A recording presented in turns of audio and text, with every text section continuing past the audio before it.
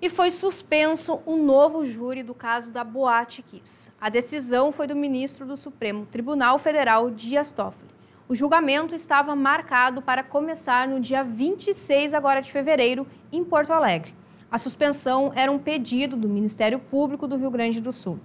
Uh, Dias Toffoli considerou o argumento do Ministério Público e alegou que o novo júri poderia causar tumulto processual já que ainda existem recursos pendentes sobre o primeiro julgamento que foi realizado lá em 2021 e também anulado pelo Tribunal de Justiça aqui do Estado. Com essa decisão, o processo fica suspenso, suspenso até que o Tribunal Superior uh, de Justiça aqui do Estado julgue os recursos extraordinários dos Ministérios Públicos Gaúcho e Federal.